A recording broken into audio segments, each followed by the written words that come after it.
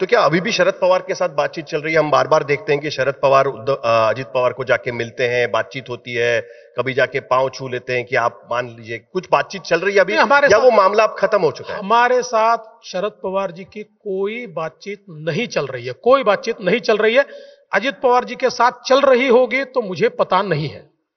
तो आज की स्थिति में आपका अलायंस अजीत पवार के साथ में और उन्हीं के पास एनसीपी की कमान जाएगी जिस तरीके से इलेक्शन कमीशन में शिवसेना का फैसला हुआ है। देखिए कुल मिलाकर लोग कहते हैं कि बीजेपी ये इंश्योर कराती है कि पार्टी तोड़ो और अ, पार्टी हाथ में ले लो। अरे भाई तो आप ऐसा क्यों करते हो कि आपकी पार्टी टूटती है? आपकी पार्टी आपने बचानी चाहिए। हमने थोड़ी ठेका लिया आपकी पार्टी बचाने का। हमने तो हमको राजनीति करनी है। हमारे पॉलिटिक्स में तो हम लोगों को जहाँ अपॉर्चुनिटी मिलेगी हम आगे जाएँगे। और ये बात पक्की है कि पिछले 20 सालों में हम्म, इलेक्शन कमीशन ने जिस प्रकार के निर्णय दिए हैं उन निर्णयों का आधार अगर हम माने तो मुझे लगता है कि एनसीपी का या अजित पवार जी का पलड़ा भारी है। आपने कहा कि लेजिटिमेट सरकार बनाने का मौका दिया था। आपको आपको मौका दिया गया था। बीजेपी नंबर वन की पार्टी महाराष्ट्र में बनी। 2022 में भी जब यह मौका आया, तब बीजेपी नंबर वन पार्टी होने के बावजूद आपने एकनाथ शिंदे को मुख्यमंत्री बनाया। अभी चैलेंज आपके पास यह है कि आगे लोकसभा चुनाव होने वाले हैं। लोग कहते हैं कि अगर मतलब ये चर्चा काफ़ी है महाराष्ट्र में, आपने भी सुनी होगी कि अगर सुप्रीम कोर्ट का फैसला होता है या फिर स्पीकर का फैसला एकनाथ शिंदे के खिलाफ जाता है डिस्कालिफिकेशन पिटिशन में, टेंथ शेड्यूल के अंडर तो हो सकता है कि विधानसभा चुनाव, लोकसभा चुनाव के साथ आए। ऐसी सूरत में आपका तीन पार्टी अलायंस किस तरीके से सीट डिस्ट्रीब्यूशन करेगा? क्योंकि वो सबसे बड़ा चैलेंज होगा, आप सबसे बड़ी पार्टी। देखिए, आप बहुत हाइपोथेटिकल बात करते हैं। राजनीति में ऐसी हाइपोथेटिकल बात होती नहीं है। लेकिन मैं आपको एज ए लॉयर मैं लॉयर भी हूँ एज ए लॉयर बताता हूँ कि जिसने इलेक्शन कमीशन का शिवसेना के मामले में फैसला पढ़ा है, वो ये हंड्रेड परसेंट समझ सकता है कि स्पीकर के सामने भी शिवसेना की केस ज़्यादा मज़बूत है। स्पीकर के सामने भी एकनाथ शिंदे जी की केस ज़्यादा मज़बूत है। ये तो क्या है कि जो शरद पवार जी का गुट है या उद्धव ठाकरे जी का गुट है ये बार बार ये चीज़ें फैलाता है। क्यों फैलाता है? अभी कुछ लोग उनके पास बचे हुए हैं। उनको बचाना है उनको। उनके मन में खोप रखना है कि नहीं नहीं, देखो, ये डिस्कालीफाई हो सकते और वापस हम आ सकते हैं।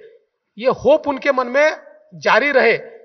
इसलिए इस प्रकार की बातें फैलाने का वो प्रयास करते आप किसी भी अच्छे लॉयर को शिवसेना के मामले में इलेक्शन कमीशन ने दिया हुआ फैसला, सुप्रीम कोर्ट का फैसला, ये दोनों चीज़ें दिखा दीजिए, वो आपको एक मिनट में बता देगा कि किसकी केस भारी है? सर सुप्रीम कोर्ट के फैसले में जो कॉन्स्टिट्यूशनल बेंच ने फैसला लिया है उसमें एक बहुत अहम बात रखी है उन्होंने कि टेंथ शेड्यूल में विप का फैसला कैसे करना है उसका गाइडलाइंस उन्होंने एक तरीके से दी हुई जो आज तक इस, आ, कभी हुई नहीं थी।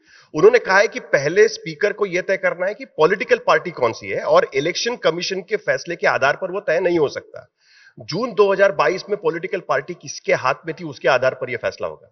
ऐसे में स्पीकर के सामने चुनौती है आप नहीं मानते? देखिए स्पीकर इसमें क्या करेगा ये मैं प्रियम्प्ट नहीं कर सकता। As a lawyer as a as a lawyer मैं बोलता हूँ कि मैं आपको वापस बोलता हूँ साहिल जी एक बार आप शिवसेना के मामले में इलेक्शन कमीशन ने जो फैसला दिया है उस फैसले को पढ़ लीजिए। उस फैसले में आपको जो स्पीकर फैसला कर सकते हैं। उसके सीट्स उसमें आपको दिख जाएँगे। उसमें दिख जाएँगे। आखिर स्पीकर ने क्या फैसला करना है तो स्पीकर को तय करना है। और मैं तो ऐसा कहता हूँ कि ऑनरेबल सुप्रीम कोर्ट ने इतना वाइड पावर दे दिया है स्पीकर को कि नाउ ओरिजिनल पॉलिटिकल पार्टी भी स्पीकर को तय करना है। उस पॉलिटिकल पार्टी का विप वैलिड कौन है यह भी स्पीकर को तय करना है। तो मुझे लगता है स्पीकर करेंगे। मैं जहाँ तक शिवसेना की बात करता हूँ या एकनाथ शिंदे जी की बात करता हूँ एज ए लॉयर मैं अगेन बोल रहा हूँ एज ए लॉयर मेरा यह मानना है it's a solid case absolute solid case क्योंकि इसी के आधार पर कई लोग कह रहे हैं कि अजीत पवार अ, कह रहे हैं कि शायद उनको चीफ मिनिस्टर बनने का मौका मिल सकता है। छह महीने मुझे दीजिए बार बार वो कहते हैं कि छह महीना मुझे दीजिए मैं चीफ मिनिस्टर बन के सारा चीज़ बदल के दिखा दूँगा। क्या इस तरीके की कोई वादा उनको किया गया है या देखिए पहली बात तो छह महीने में कोई चीज़ें नहीं बदलती तो अजीत दादा को जब बनना है पूरे पाँच साल के लिए बनाएँगे। ये कोई छह महीने के वगैरह से आप कह रहे हैं कि आप अजीत पवार को चीफ मिनिस्टर बनाएँगे पाँच साल के जब लिए। जब आएगा मौका तब अभी तो मैं आपको बहुत स्पष्ट रूप से कहता हूँ एकनाथ शिंदे जी चीफ मिनिस्टर है एकनाथ शिंदे जी चीफ मिनिस्टर रहेंगे। लोकसभा का चुनाव हो विधानसभा का चुनाव हो एकनाथ शिंदे जी ही चीफ मिनिस्टर रहेंगे। चीफ मिनिस्टर के नेतृत्व में चुनाव लड़े जाते हैं। इसलिए आप ये दिमाग से निकाल दीजिए कि महाराष्ट्र में चीफ मिनिस्टर बदलने वाला है। महाराष्ट्र में चीफ मिनिस्टर नहीं बदलेंगे नहीं बदलेंगे।